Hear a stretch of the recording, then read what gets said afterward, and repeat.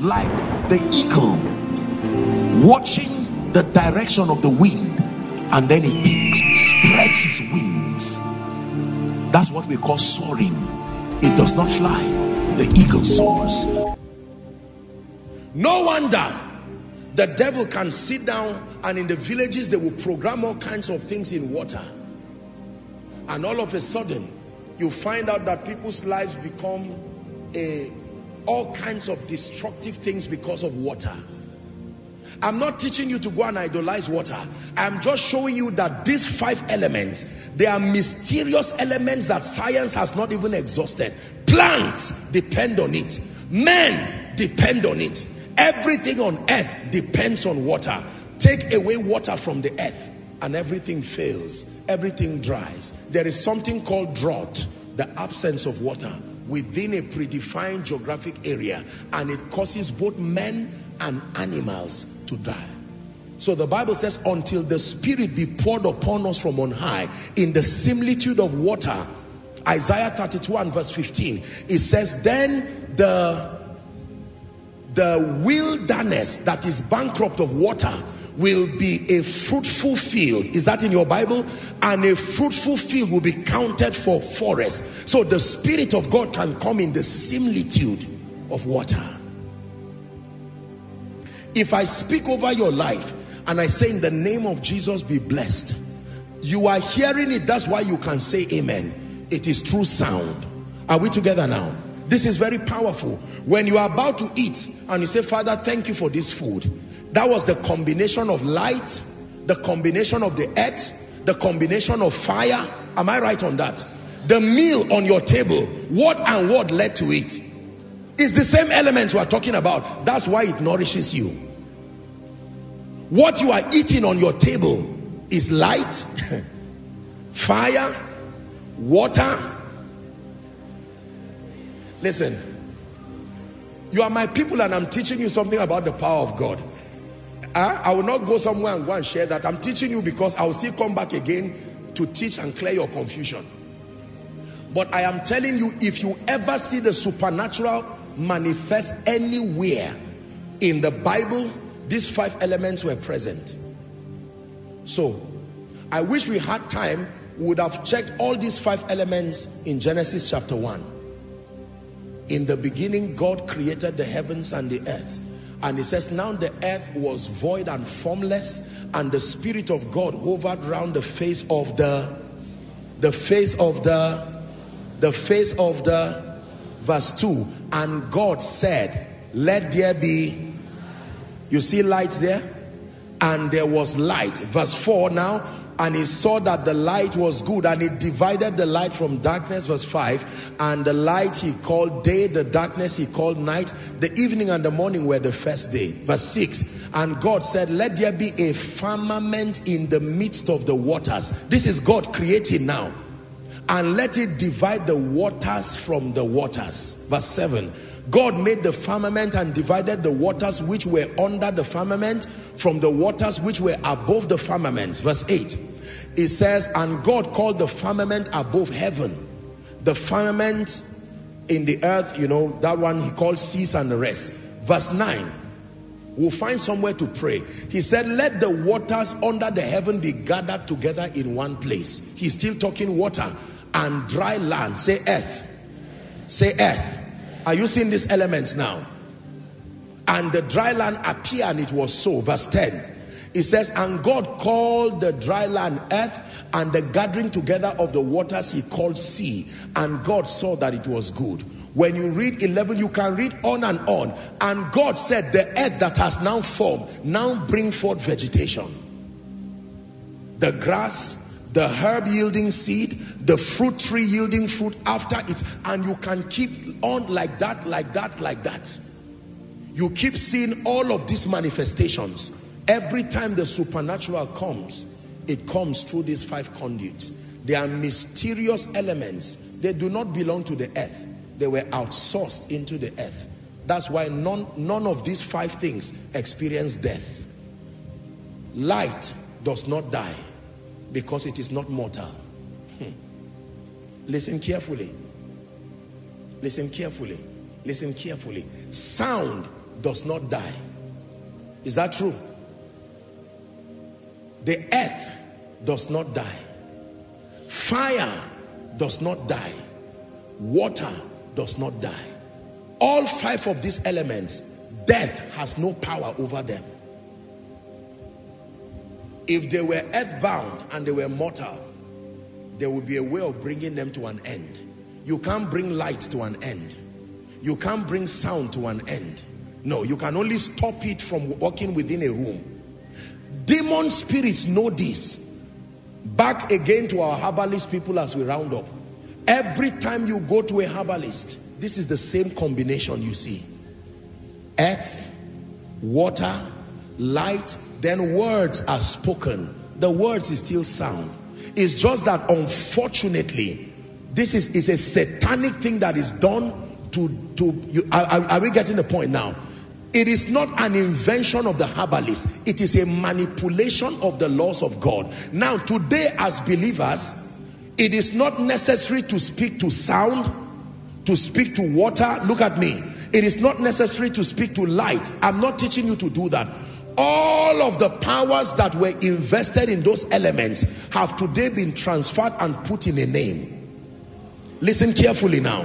Are we together? So the Bible says, wherefore God had so highly exalted him and given him a name that is above all names. It says that at the name of Jesus, now you will know what every knee must bow. The knee is not the knee of man. The knee is the knee of things.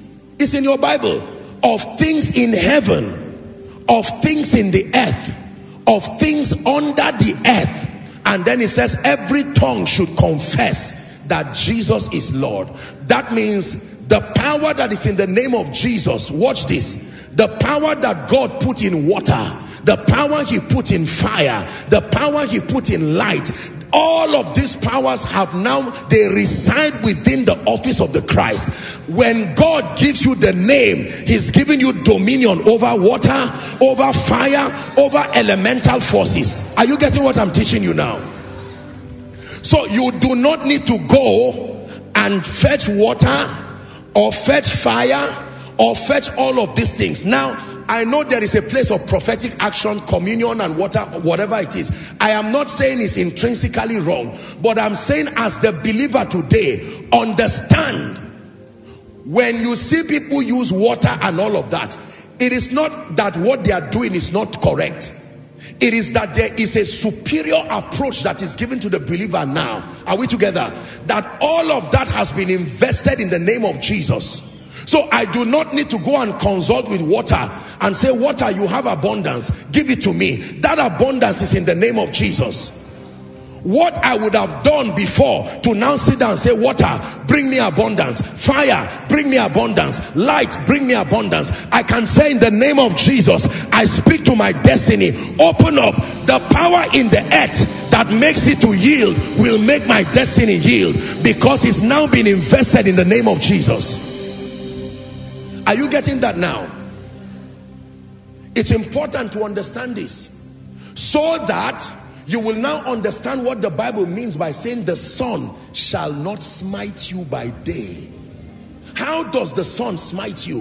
Who uses light to smite you? Evil spirits. But because you have the name of Jesus, you can speak and say in the name of Jesus, no weapon fashioned against me, whether by light, whether by water, anybody who takes your name to a herbalist, you don't also need to go and carry water or fire now, I'm not pleased with all due respect to the body of Christ. Every man of God is at liberty to practice whatever revelation he has. I'm not by this. Let me put a disclaimer. I'm not insulting or downplaying or demeaning. No, no, no, no. I'm teaching you the truth as superior revelations from the word of God. Are we together? I have acknowledged that these are elements that were created by God and that there is a dimension of God's power resident within them and that they are conduits for manifesting the supernatural. But the advantage that the believer has in Christ today is this name we have been given. Now you will respect what was put in the name of Jesus. So here's what he says. Silver and gold I do not have. In other words, I can't tell you go and wash in Siloam. I can't tell you go and do this. But such as I have, give I unto you in the name of Jesus. The name that has that power. I will not need to say wait in Bethesda until the stirring of the water. When the angel came in John 5, he stirred the water and whoever entered the water was healed. Jesus himself put sand in someone's eyes. I don't need to go and start putting sand in people's eyes today to be healed. Are we together? All I need to do is to speak over your job, speak over your life, provided it is in the name of Jesus. I release that power. So, when I am walking my laws, learning all the laws that bring prosperity, when I bring the name of Jesus to those laws, I empower them to produce.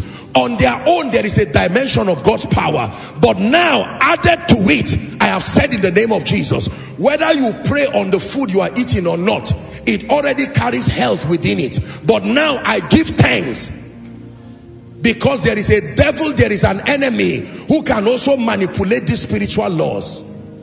Listen to me, believers. The greatest investment you have for your victory is that name. The power was invested in the name. Jesus went through all of these things and today we do not need to consult mediums or consult elements to get power. The most superior approach for the believer is to understand the power that is in the name of Jesus. When I get up in the morning and I see the sun shine, I know that is empowering plants and animals and all of that. But listen to me, even if I remain in darkness for one year, I still will not die because there is a name. Are we together? The effect of what that sun would have done, that name can do to me.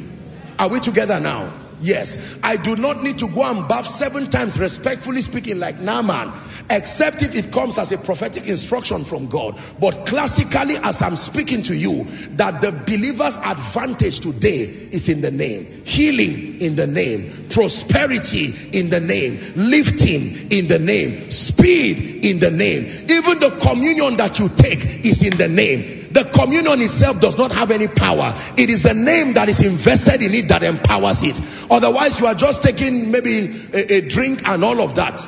The anointing oil that you hold, it came from a plant connected to the earth, connected to water, connected to light. The anointing oil on its own does not bring you any miracle except the name is invested on it. Is someone learning? So if I forget an anointing oil at home and say, ah, I don't have an anointing oil. Don't worry. Did you forget the name? That is the trouble. Many have carried the oil and forgotten the name. Mary carried water and forgot the name. Are we together now? Now I'm saying this to help the body of Christ. We're in the school of power. Listen, when it has to do with power, thank God for water, thank God for light, thank God for all of these things. But the name of Jesus Christ has been exalted above everything and it's been given to the believer as an inheritance. When you have that name, with it you will command strange possibilities. And watch this, that name is able to manipulate even elemental forces to walk towards the favor of God's people. In other words, I can stand and speak over an atmosphere where there's drought and say rain in the name of Jesus, I declare you begin to fall on this land. That rain will obey me. Why? Because I'm coming in the name of Jesus. Jesus is not a creation. He's not a creature. He is the creator himself.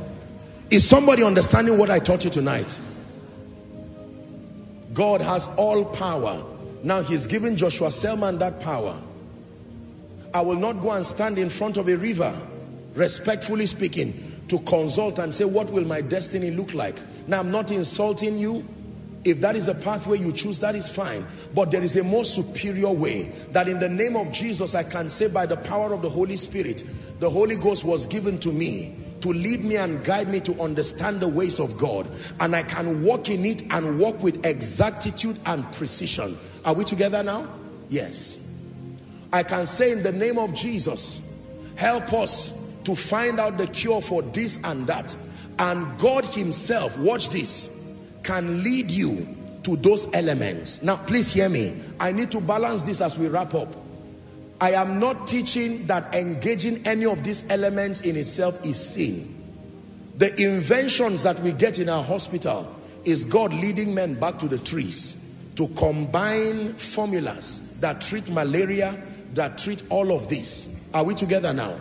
Yes. There are times I've prayed for people on water. There are times I've prayed for people on their oil. There's, there are times that people come by faith. They just hold a bag of sand and say, Apostle, pray on this sand. There's no time explaining anything to them. Their faith has been connected to it. I just lay my hands and say in Jesus' name, go in peace. Because when they come and as they keep learning the ways of God, they will now see that there is a more superior approach. By this teaching, you should not go down and start insulting people and say, see what you are doing. You are still using oil and water and that. No, no, don't do that. Don't do that. I will still use oil on you. I will still use whatever it is that God leads. But I am telling you that the power is not in the oil. Now, today, my confidence is not anointing oil. My confidence is not water. My confidence is not communion set. As wonderful as that is. Are we together now? Yes. My confidence is in the name of Jesus. If I lay my hands on that oil and you use it and it produces results, it is not because of the oil itself. It is because of the name of Jesus. Anybody who does not know Jesus will have to depend on those elements on their own and then sadly for many in partnership with demon spirits. Now witchcraft operates in this manner. These spirits understand how to manipulate these formulas and they come and meet men. They said there is a cure for something in the village bow to me and I will show you the cure. So someone will come and bow to the devil and you say combine this leaf and combine that leaf and the person will start doing it and start providing solution and you'll be called the herbalist in the city and you will make money from it like the lady with the spirit of divination. It brought money to their people. You would have called that prosperity.